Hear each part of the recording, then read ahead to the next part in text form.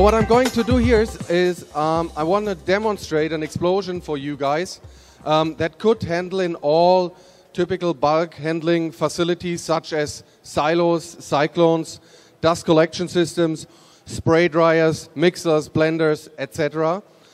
And what I'm going to do is I'm creating an explosive atmosphere inside this vessel, which is a very small one, but which should give you an impression on how severe dust explosions can be. I will just take standard combustible dust. It's lycopodium. It's um, honestly the one that you get quite cheap off the pharmacy store. That's why I'm using it.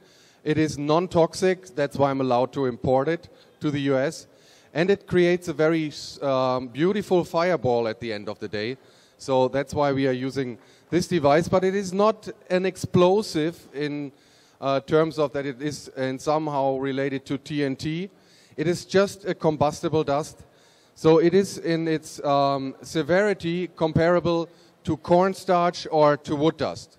So please allow me to just do some preparation on the test equipment in order to whirl this dust up, get it airborne, ignite it, and then show you how a dust um, explosion prone vessel can be protected by means of explosion venting.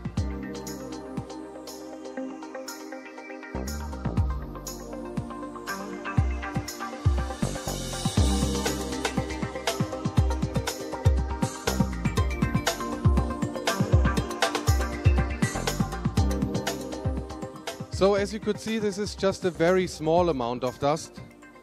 It's not the typical amount of dust that uh, applications that you have in your facilities at home um, handle. So, but it is just the dust amount that I need to create an explosive atmosphere in my test vessel.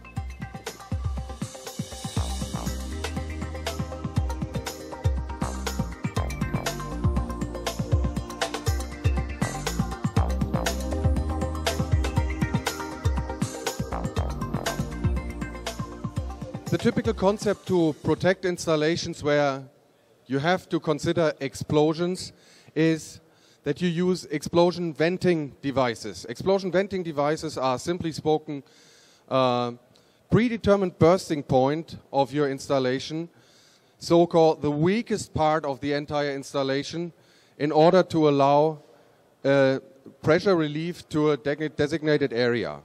So what I'm going to do is I equip my explosion relief device on this test vessel and then I will carry out the explosion and then you will see what happens.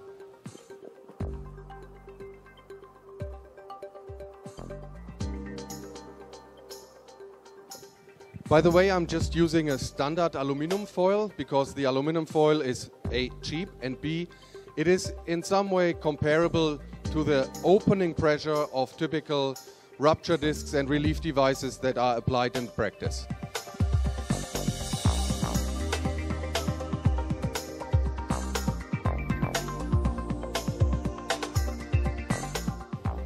Equipment is ready.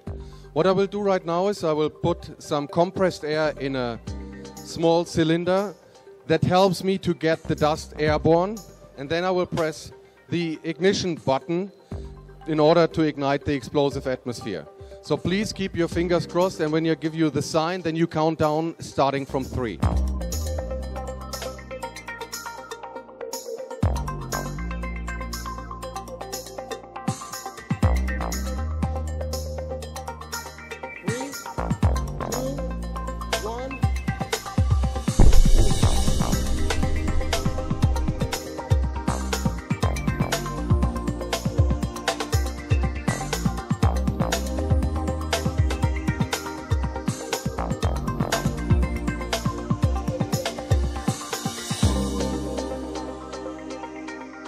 Thank you very much. So what you could see is that um, the explosion gave um, rise to a pressure inside this vessel.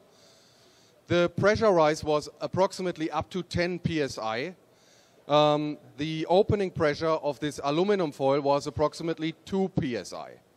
So it opened, relieved the pressure, but it also relieved the flame. And that's why the protection concept of installations that are located inside won't allow just a standard relief venting. And that's why Rembe invented the technology of flameless venting.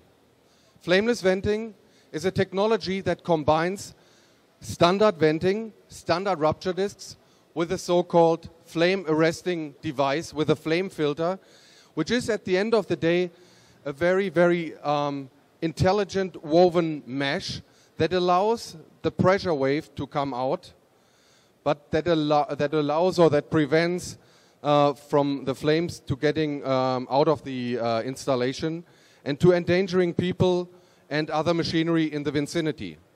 It works uh, in some way as a heat exchanger, which means that once the flame enter into this mesh, you will have in some way a cooling effect to the flames. So please allow me in some way the, uh, the preparation of the um, next explosion where I will show and demonstrate flameless venting in order to show you that we won't have flame lengths as what you could just see of approximately 10 feet long.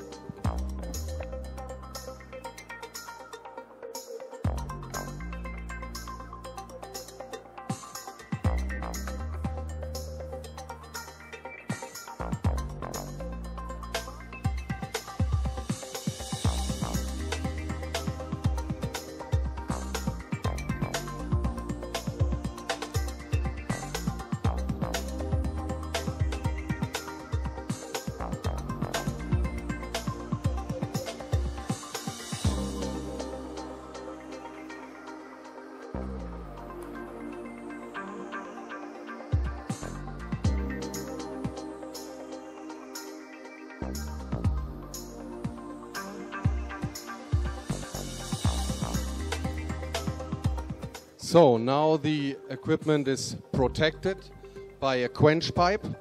The quench pipe technology or the flameless venting technology has been invented in the 80s by the company Rembe. Um, it has been improved over the last decades and according to the new EN standards and the new NFPA standards, we proudly um, present the solution also um, approved for metal dusts, combustible metal dust, combustible gases, as well as hybrid mixtures and combustible dusts. So what I'm going to do is that I once again prepare the, the um, equipment and then you count down starting from three.